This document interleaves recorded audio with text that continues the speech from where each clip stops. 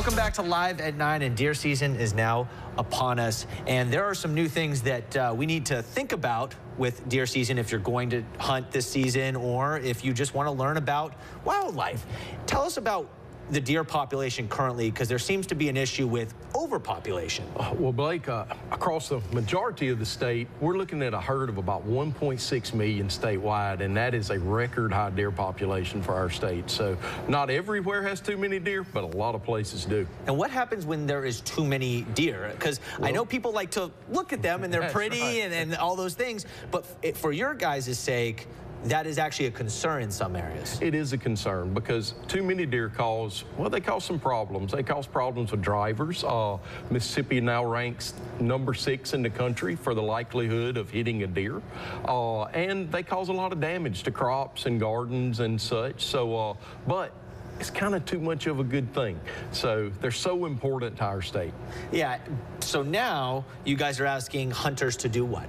We would like them to exercise their bag limit. So uh, most hunters in the state harvest about one and a half deer on average. So they shoot one or two deer. Um, what we're asking is that hunters within the, the legal bag limit shoot an extra deer if they are not reaching their bag limit. So and I'm sure there's some people at home that are going, oh, no, not the deer. And you're saying, well, it is actually better for the state of Mississippi, for Certainly. the population, and, and you don't want it to get too low or too high. That's right. We try to manage it at a, at a level that's appropriate and sustainable, and it's such a wonderful, sustainable resource. You know, Last season, hunters harvested around 300,000 deer in the state of Mississippi. That's almost 18 million pounds of venison, Blake, that went to Mississippi families. So how important is that? It, right. I mean, it, it is feeding some families. Yeah. Safety now with deer hunting season. It's one of the big things that people talk about, right? I mean, you're dealing with weapons that can you hurt, are. hurt, hurt somebody. But you're saying that it, it, can be safe, but you got to follow the rules. You got to follow the rules. You know, we have a hunter hunter education program that every hunter before getting a license has to go through a hunter education program, and then they can purchase a license. Remind people that are hunting to do that. But once they are certified through our hunter ed, they can buy a hunting license, and by the numbers, hunting's safer than golf, Blake, by almost a 300% margin. so, uh, yeah. That, that, that's interesting. Safe, safer than golf. I guess what are some of the biggest concerns you have for hunters this season?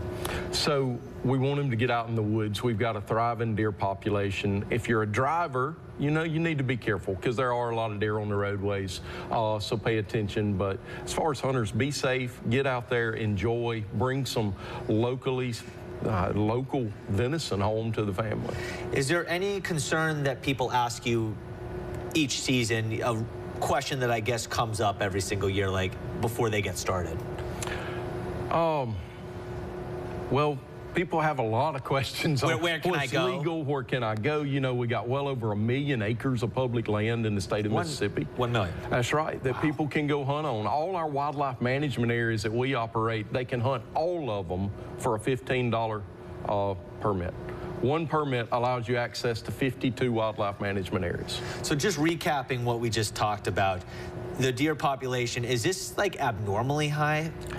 It's been slowly trickling upwards, and we're just a little higher than our previous record, which was around the year of early 2000s, and it's just been gradually inching up. So we're not asking for a lot. We're just asking hunters to harvest about as many deer as they were 10 years ago. And there's a, a certain amount that they're allowed to have. That's right. Most of the state has a bag limit of eight, three bucks and five does. That varies a little in southeast and extreme overall, the average hunter's only shooting one or two. So we're just asking them, if they're not reaching that bag limit, to take one more this year.